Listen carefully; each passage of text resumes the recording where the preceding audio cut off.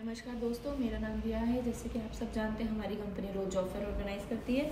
सोमवार, बुधवार, शुक्रवार को समय है ग्यारह बजे और अगर आपको इस दिन इंटरव्यू देना है, समय है दो बजे।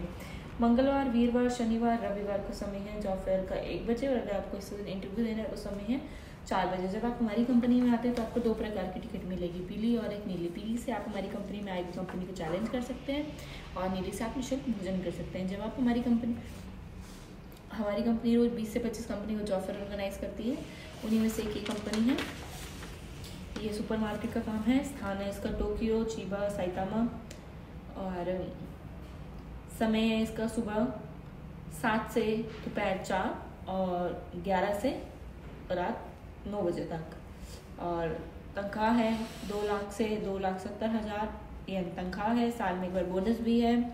और इसका इंटरव्यू है सोलह अक्टूबर को चार बजे और अगर आप इंटरेस्टेड हो इस कंपनी में इंटरव्यू लेने के लिए तो आप हमें इस नंबर पर संपर्क कर सकते हैं, ज़ीरो तीन छः दो ज़ीरो छः आठ ज़ीरो पाँच आठ। धन्यवाद।